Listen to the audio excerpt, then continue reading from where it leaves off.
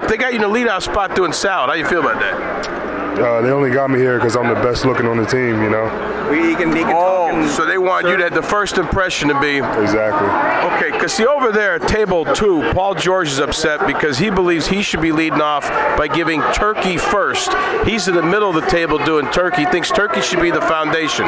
What do you think should be the first thing given out? I don't. I don't know. It doesn't matter. I think Paul's overthinking this thing. What do you think should be the first thing given out? Turkey or salad?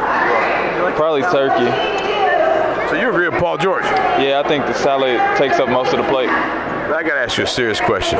You're from this town. What is it like? You see your organization do this. 700 people who need it, families, moms, dads, little kids. This has to make your heart feel even a little special. Yeah, this is special, man. I mean, it's great that people have an opportunity to get a good meal and you know meet people, fellowship with a lot of people. Uh, it- it's really it's really amazing to see this.